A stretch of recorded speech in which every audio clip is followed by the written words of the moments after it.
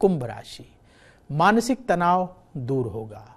भाग्य का साथ मिलेगा। कुछ नया करने की योजना बनेगी। आपकी कार्य क्षमता बढ़ेगी। अहंकार का भाव ना बढ़ने दें।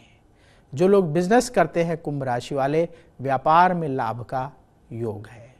ज़रूरी टिप, जल्दबाजी से बचे। शुभ रंग, हल्का हरा। उपाय, गौ माता को हरा चारा खिलाए।